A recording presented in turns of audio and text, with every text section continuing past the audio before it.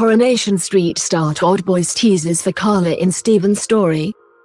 Coronation Street spoilers follow. Coronation Street star Todd Boyce, who plays villain Stephen Reid on the ITV soap, has teased some danger ahead for Carla Connor. In an upcoming storyline, Stephen and Underworld owner Carla are set to square off as Stephen attempts to return to the textiles industry and a determined Carla lets him know who's boss.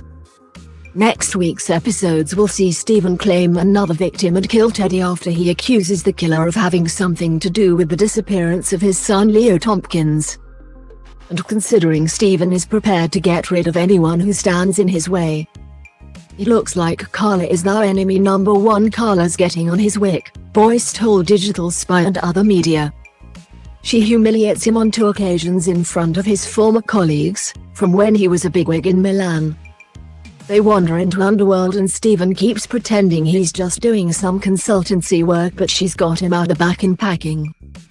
Carla just spoils his cover and is saying go on, get back to packing so she crushes him in front of them.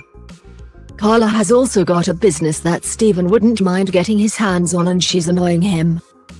She's the queen of Underworld and he'd like to be the king. She's skating on thin ice, the actor went on to discuss how amazing it is to join Corrie's infamous list of serial killers, including Connor McIntyre's Pat Phelan and Brian Capron's Richard Hillman. He continued, I know the show. And you hope to play Hamlet in your 20s and 30s, you hope to play Macbeth in your 50s. You hope to play Lear in your 70s. You hope to play this. And it's even rarer than that. It's such an honor. I get emotional about it, I'm so grateful to Iain MacLeod. I get emotional about it. It's heaven. And by a certain age, acting's no longer the problem. You can either act or you can't act, you're not worried about the acting, you just want to get on and do it.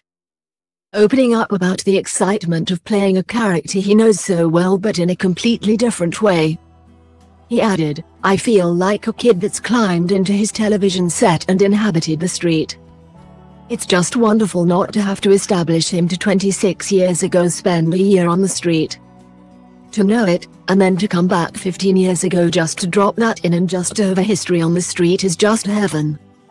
And then to come back again to do this is perfect Coronation Street airs on Mondays.